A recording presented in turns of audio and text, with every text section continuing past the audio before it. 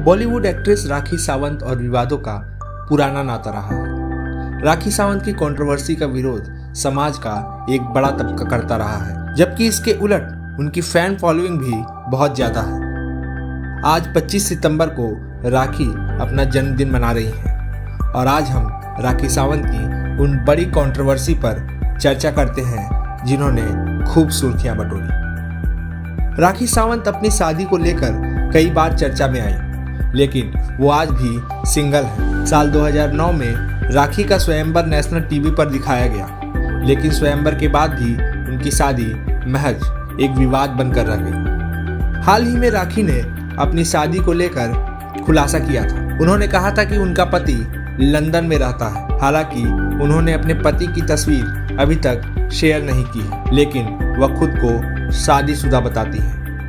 राखी ने दीपक कलाल के साथ भी शादी करने की बात कही थी।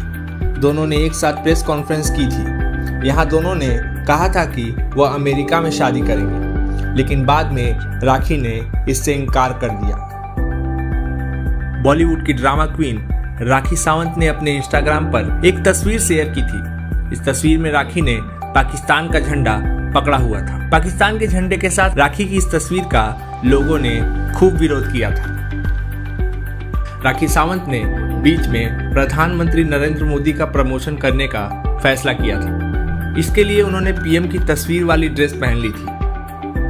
अगर राखी सावंत को कंट्रोवर्सी क्वीन कहा जाता है तो सिंगर मीका सिंह को किंग कहा जाता है। एक बार मीका सिंह ने राखी को पब्लिकली किस किया था। इस पर राखी ने शिकायत भी दर्ज कराई थी। राखी का कहना था कि मीका ने उनसे बिना इजाज़त के ही उन्हें किस किया था। राखी सावंत टीवी के बड़े reality show, Bigg Boss season one और नच बलिए सीज़न थ्री का हिस्सा रह चुकी हैं। उन्होंने बिग बॉस में तो आराम से टास्क किए, लेकिन नज बलिए में उन्होंने चैनल के खिलाफ शिकायत दर्ज करवाई थी। राखी का कहना था कि चैनल ने वोटों से छेड़छाड़ की है। वहीं राखी ने सनी लियोन का हिंदी फ़िल्म इंडस्ट्री में आने का समर्थन किया था, जबकि एक इंटरव्यू के दौरान उन्होंने सनी लियोन का समर्थन करते हुए कहा था कि अगर मुझे मौका मिलता है तो मैं भी पॉन स्टार बनूँगी। आज राखी अपना तिरालीसवा जन्मदिन मना रही है और इस खास अवसर पर पूरे प्रभात वार्ता की टीम की तरफ़ से राखी को जन्मदिन की ढेर सारी शुभकामनाएँ। ब्यूरो रिपोर्ट, प्रभात वार्ता।